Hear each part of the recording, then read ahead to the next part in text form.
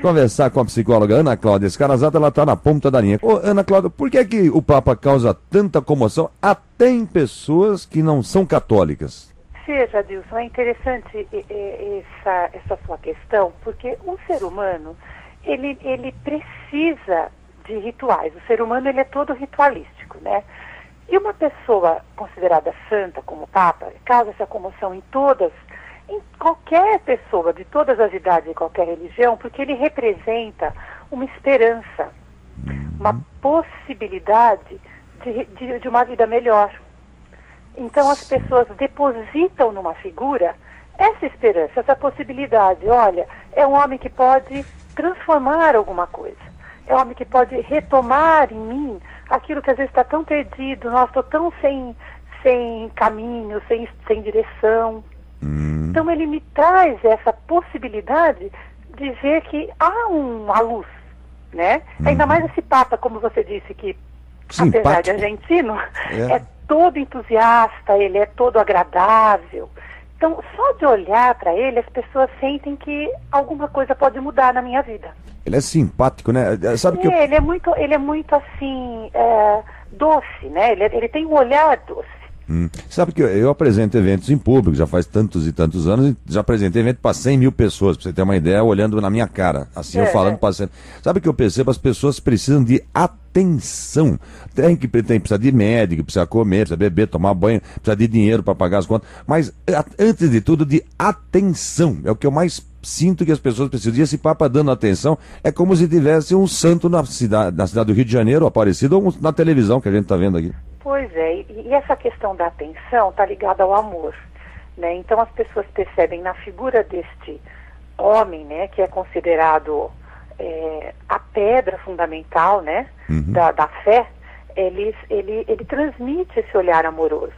E as pessoas, é o que eu digo, elas, qualquer pessoa quer esse olhar. Uhum. Amoroso, de atenção, como você disse, né? Às vezes você está num dia atribulado, alguém olha para você e te deseja um bom dia, uhum. você já tem um dia melhor. É, é atenção, Não é? exatamente. Imagina você, essas pessoas que vão à rua e que querem ver esse homem, né, tão é, é, é santo e ele ele ele olha para você, né? Então, quando ele olha para todos, você tem uma sensação, eu falo você no todo, né? A pessoa tem uma sensação de que ele está olhando para dentro de você. E esse olhar te desperta que, olha, eu ainda posso encontrar alguma coisa boa no mundo. Porque as pessoas precisam acreditar que o mundo é bom para continuar em pé. Porque se a gente olhar o cotidiano, o cotidiano é cruel, Adilson. São as contas para pagar, são as dificuldades dia a dia, as relações, o dinheiro que, que, que, é curto, o médico que você vai e a dor não passa, e o professor que você procura e não ajuda o seu filho na, na, na, na, na parte educacional. Quer dizer, você se sente muito sozinho no dia a dia. Agora, e quando o Papa foi embora, não vai ficar um sentimento de perda de um ente querido? Veja, fica um sentimento assim de, de, de saudade, eu acredito, porque ele continua existindo no dia a dia, na mídia, né, e no coração. Então não fica como uma perda assim para sempre, mas aquela sensação de saudades. Olha que bom quando ele estava aqui. Mas o fato, nesse caso, de, de, das pessoas acreditarem nessa esperança, fica a esperança, entende, Adilson? Mais do que a uhum. perda. Perfeitamente. Né? Então, a, a, as pessoas elas acreditam que esse olhar, esse encanto. Eu estava acompanhando alguns pedaços da visita do Papa e, e me encanta assim esse modo dele de, do, do, modo como ele falou do idoso, das pessoas portadoras de, de, necessidades especiais. Sabe uma coisa que eu gostei também? Quando ele falou que ele é contra a liberação, liberalização do uso da maconha. Ô, oh, Papa, bem. É, porque ele tem noção que isso não vai mudar, né? Claro. Não vai mudar. Acho um absurdo alguém e partindo de ex-presidente da República, o que é pior ainda, né? Pois é, porque o que acontece? É, a liberação da maconha, por exemplo, já pegando esse gancho, uhum. o que, que vai acontecer? Vai abrir portas para drogas maiores. Uhum. O problema não é a maconha, ó, liberou tal, mas é o que é uma porta para coisas mais pesadas. E o Papa tem esse olhar, ele sabe.